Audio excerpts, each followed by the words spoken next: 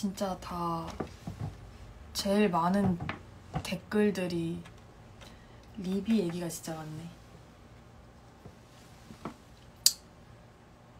진짜 아끼는 동생입니다.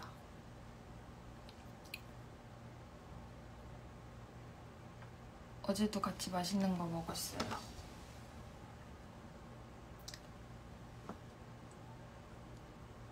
왜냐면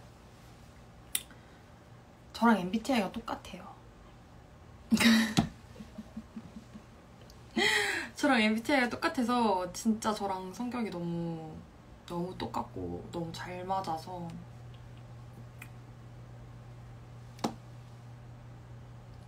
잘 놉니다. 서로 말하고 서로 반응을 잘 안 해. 막 이랬다 막 이랬다 이러면 어 대박 이러고 또 걔, 걔도 막 아, 말하면 나도 음 대박.